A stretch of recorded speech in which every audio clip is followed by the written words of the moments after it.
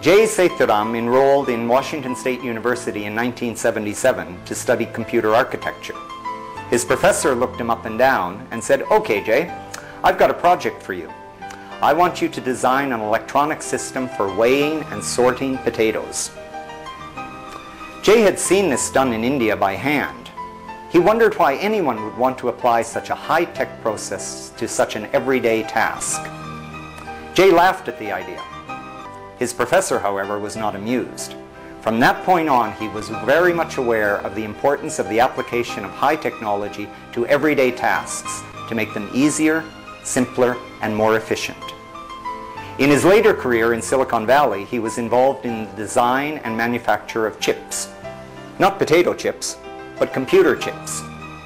He has patents to his credit and has been very successful. The companies that he founded were sold at the turn of the millennium for almost $13 billion, and that's no small potatoes. With his background of electronics and high-speed networking, Jay Sethuram spearheaded the development of the world's fastest chip, functioning at 10 gigabytes per second, which accelerated the evolution of the Internet. After graduating from the Madras Institute of Technology in Electronics Engineering in 1973, he worked at Bharat Electronics in Bangalore in the field of semiconductor quality assurance. He went to the United States in 1977 to do his master's in electrical engineering, specializing in computer architecture at Washington State University. Jay Sethuram started his professional career in the United States at Bell Laboratories. When I was in Bell Labs in 1984, I saw a TV program on 60 Minutes uh, talking about Apple computers in Silicon Valley, how first 40 employees of Apple computers became multimillionaires just through stock options. That's when I decided maybe for me the future is in uh, Silicon Valley where entrepreneurship is really encouraged. So I decided to look for a job in Silicon Valley and then I found a job with Trilogy Systems after Trilogy Systems, I joined National Semiconductors in the Graphics and Multimedia Group. Here I developed the expertise in the area of graphics and multimedia at the time when Windows and multimedia was becoming very popular on the personal computer. Later at NEC, I joined the graphics group. I headed the graphics group for developing the add-in cards for the personal computers. These cards were highly popular. We sold several thousands of these cards. Recognizing the importance of personal computers for multimedia and high-speed networking, Jay moved to work at Intel. His work brought him a patent for inventing a new system for transferring data between a network and hosts coupled to the network. At Intel, I got an idea of developing a processor for networking, high-speed networking, and I proposed this idea to the management of Intel.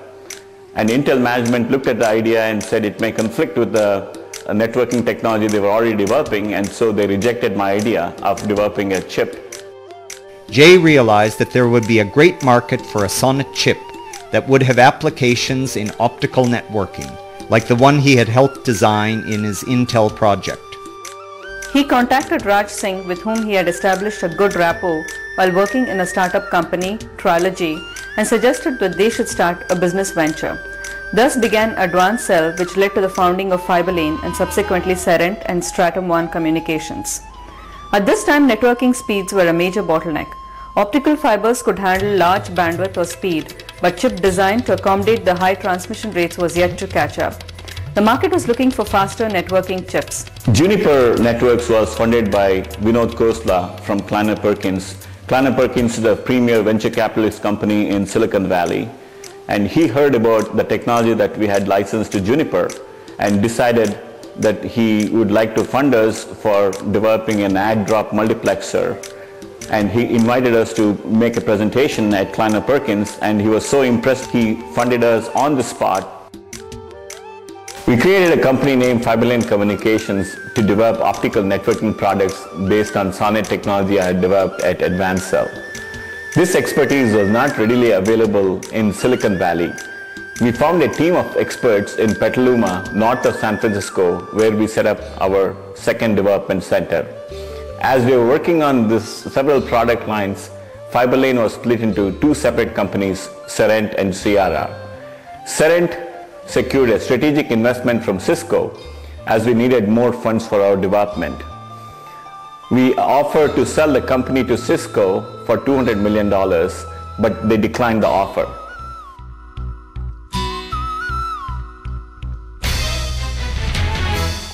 A year later, impressed with the product that we had developed, Cisco made an offer to acquire us for $600 million. Now it was our turn to reject their offer since we saw a great opportunity for our products. Instead, we filed for an IPO. The underwriters valued the company at $5 billion. Since Cisco was keen on acquiring the company at any cost, they made an irresistible offer of $8 billion. This was the largest acquisition Cisco has ever made. Siara was eventually bought by Redback for $5 billion.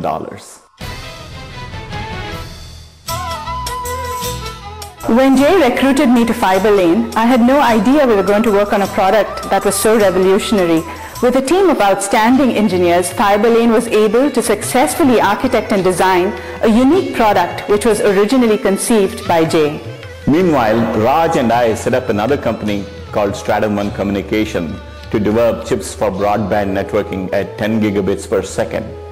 Initially, we funded this company with our own resources and hired a strong team of professionals. To finance the expansion of Stratum One, we obtained funding from Sequoia and IVP, two premier venture capital companies. Our customers in Stratum One included, besides Cisco, Nortel and Lucent as well. Sensing the importance of our products, Cisco made an offer to acquire Stratum One at about $500 million to preempt their competitors.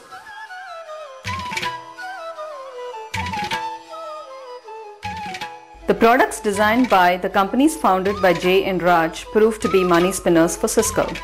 The products form the backbones of ultra high speed networks, which allows large amounts of data to flow in the blink of an eye. My experience proved that three ingredients of success are hard work, perseverance, and luck. I happened to be at the right place at the right time and seize the right opportunity, Silicon Valley and the growth of internet. After his incredible success, Jay Sethuram moved into a dream house on the Los Altos Hills in California. It has been ranked as one of the 25 most beautiful residential buildings in the Silicon Valley.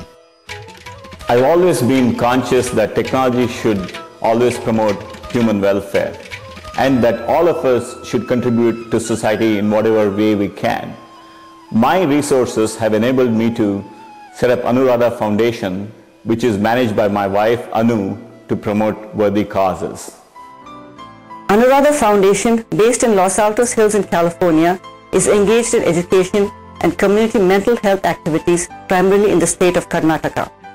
The Anuradha Foundation, a non-profit organization actively supported and funded by Jay Sethuram, envisages the enlargement of the scope and the scale of its activities.